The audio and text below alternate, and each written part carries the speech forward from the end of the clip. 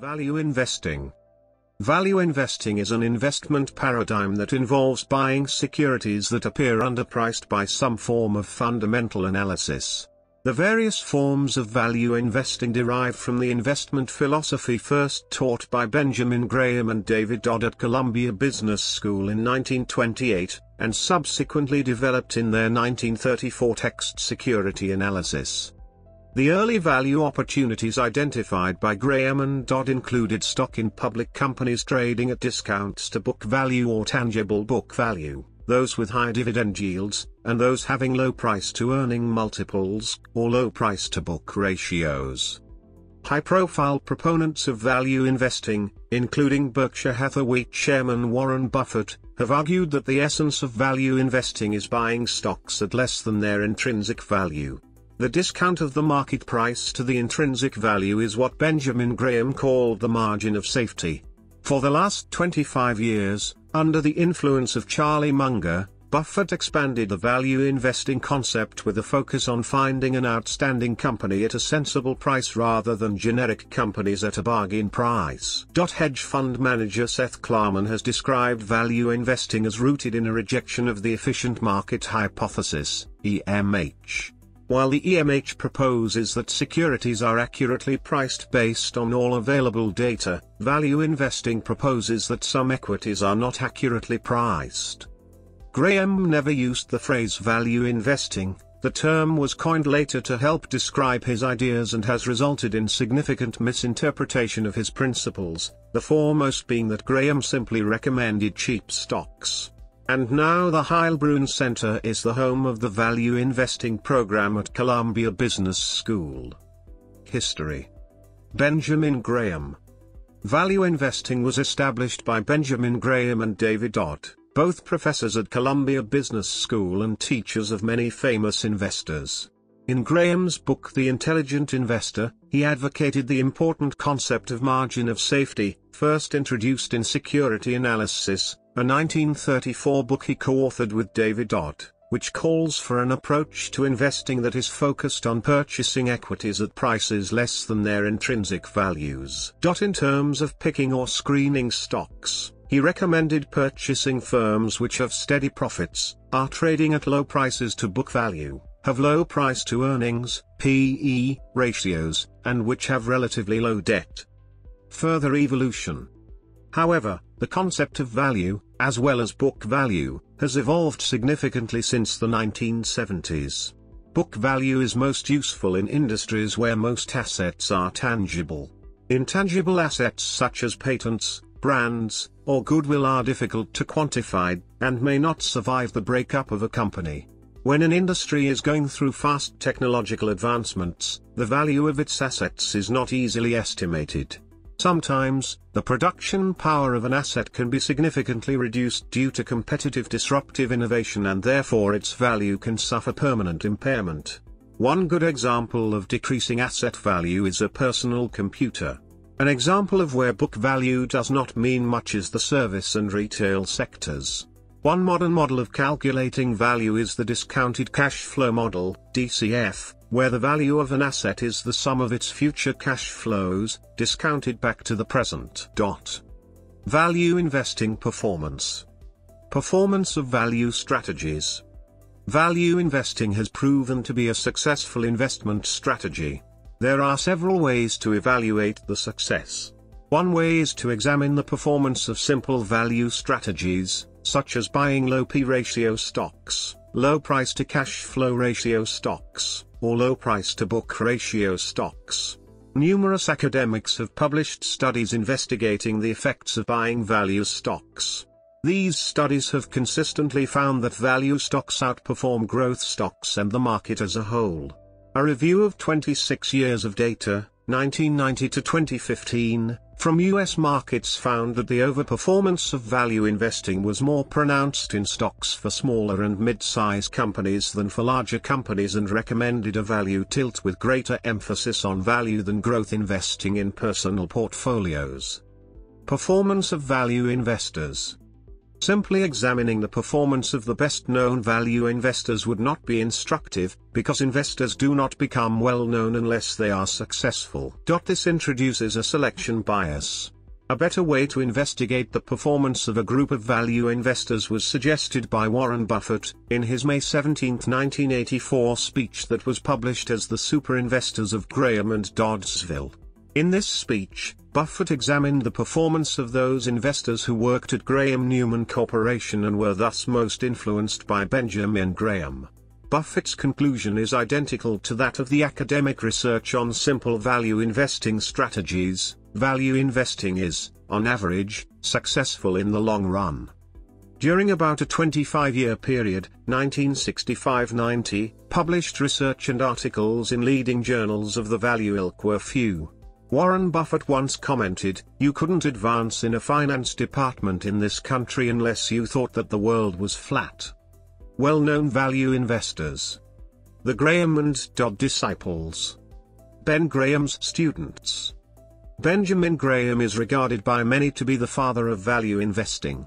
Along with David Dodd, he wrote Security Analysis, first published in 1934. The most lasting contribution of this book to the field of security analysis was to emphasize the quantifiable aspects of security analysis, such as the evaluations of earnings and book value, while minimizing the importance of more qualitative factors such as the quality of a company's management.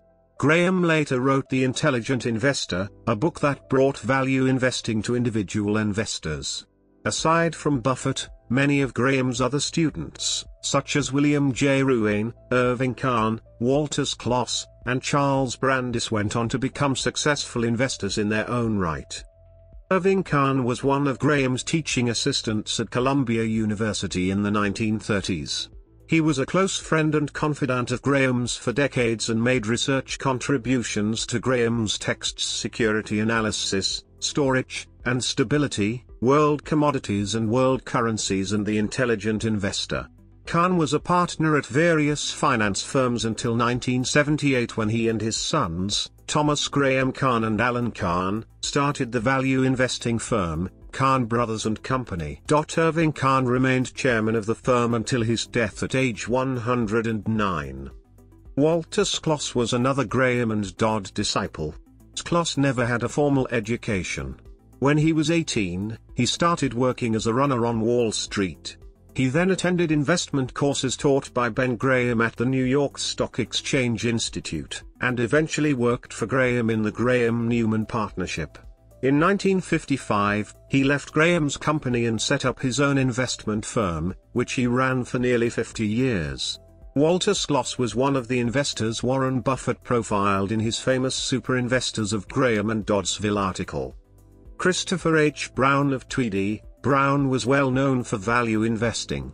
According to the Wall Street Journal, Tweedy, Brown was the favorite brokerage firm of Benjamin Graham during his lifetime. Also, the Tweedy, Brown Value Fund and Global Value Fund have both beat market averages since their inception in 1993. In 2006, Christopher H. Brown wrote The Little Book of Value Investing in order to teach ordinary investors how to value invest.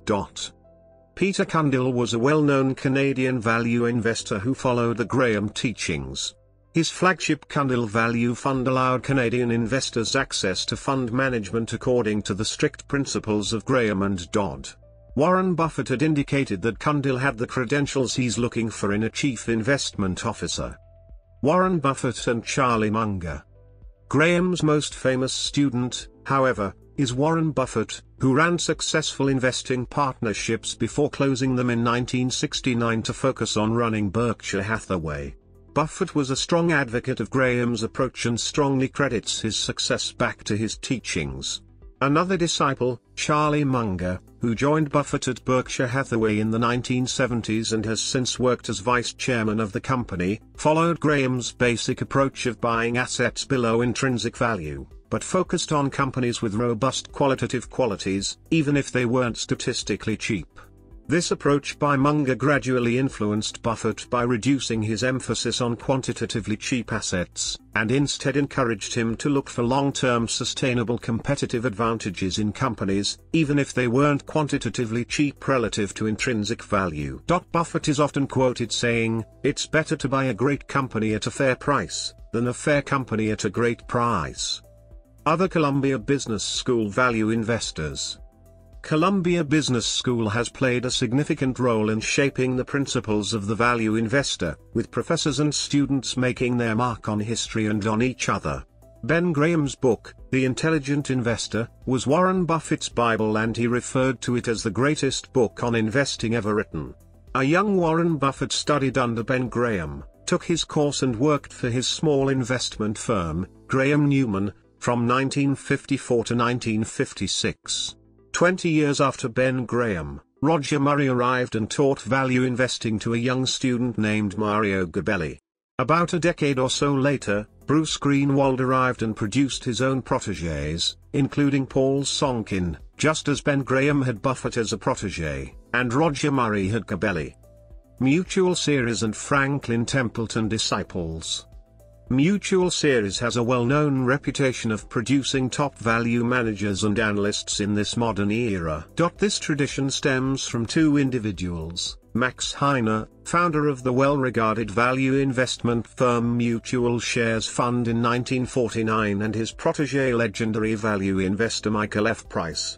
Mutual Series was sold to Franklin Templeton Investments in 1996. The disciples of Heine and Price quietly practice value investing at some of the most successful investment firms in the country. Franklin Templeton Investments takes its name from Sir John Templeton, another contrarian value-oriented investor.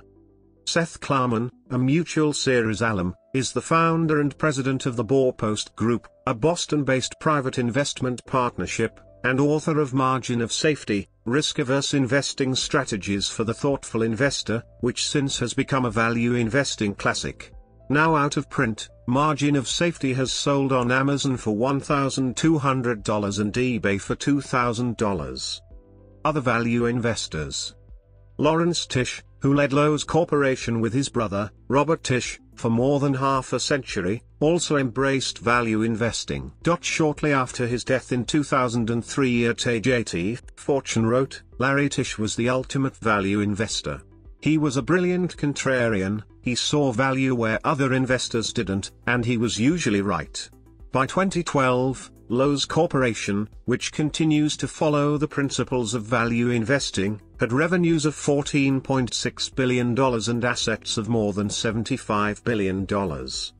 Michael Larson is the Chief Investment Officer of Cascade Investment, which is the investment vehicle for the Bill and Melinda Gates Foundation and the Gates Personal Fortune. Cascade is a diversified investment shop established in 1994 by Gates and Larson. Larson graduated from Claremont McKenna College in 1980 and the Booth School of Business at the University of Chicago in 1981. Larson is a well-known value investor but his specific investment and diversification strategies are not known. Larson has consistently outperformed the market since the establishment of Cascade and has rivaled or outperformed Berkshire Hathaway's returns as well as other funds based on the value investing strategy. Martin J. Whitman is another well-regarded value investor. His approach is called safe and cheap, which was hitherto referred to as financial integrity approach. Martin Whitman focuses on acquiring common shares of companies with extremely strong financial position at a price reflecting meaningful discount to the estimated NAV of the company concerned. Whitman believes it is ill-advised for investors to pay much attention to the trend of macro factors, like employment, movement of interest rate, GDP, etc., because they are not as important and attempts to predict their movement are almost always futile. Whitman's letters to shareholders of his Third Avenue Value Fund, TAVF, are considered valuable resources for investors to buy at Good Ideas by Joel Greenblatt in his book on special situation investment You Can Be a Stock Market Genius.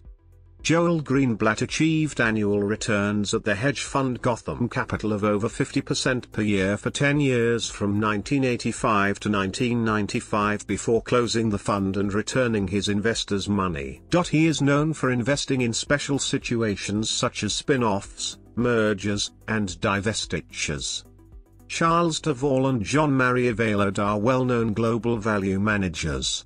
For a time, these two were paired up at the First Eagle Funds, compiling an enviable track record of risk-adjusted outperformance.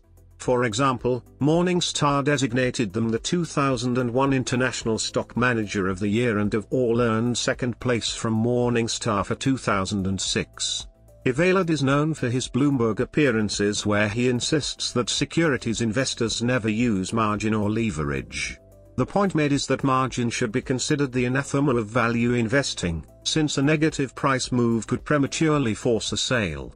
In contrast, a value investor must be able and willing to be patient for the rest of the market to recognize and correct whatever pricing issue created the momentary value. Eveillard correctly labels the use of margin or leverage as speculation, the opposite of value investing. Other notable value investors include Mason Hawkins, Thomas Forester, Whitney Tilson, Mohnish Pabrai, Li Lu, Guy Spier and Tom Gaynor who manages the investment portfolio of Markel Insurance.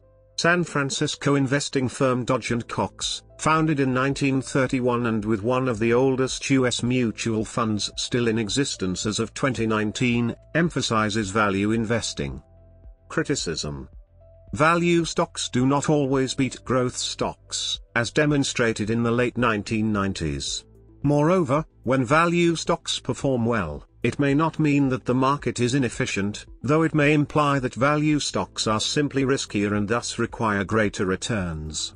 Furthermore, Foye and Mramor, 2016, find that country-specific factors have a strong influence on measures of value, such as the book-to-market ratio, this leads them to conclude that the reasons why value stocks outperform are country specific.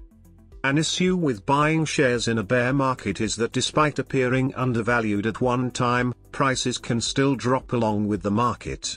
Conversely, an issue with not buying shares in a bull market is that despite appearing overvalued at one time, prices can still rise along with the market. Also, one of the biggest criticisms of price-centric value investing is that an emphasis on low prices, and recently depressed prices, regularly misleads retail investors, because fundamentally low, and recently depressed, prices often represent a fundamentally sound difference, or change, in a company's relative financial health. To that end, Warren Buffett has regularly emphasized that it's far better to buy a wonderful company at a fair price, than to buy a fair company at a wonderful price. In 2000, Stanford accounting professor Joseph Piotroski developed the F-score, which discriminates higher potential members within a class of value candidates. The F-score aims to discover additional value from signals in a firm's series of annual financial statements, after initial screening of static measures like book-to-market value. The F-score formula inputs financial statements and awards points for meeting predetermined criteria. Piotroski retrospectively analyzed a class of high book-to-market stocks in the period 1976 to 1996 and demonstrated that high F-score selections increased returns by 7.5% annually versus the class as a whole. The American Association of Individual Investors examined 56 screening methods in a retrospective analysis of the financial crisis of 2008, and found that only F-score produced positive results. Another issue is the method of calculating the intrinsic value.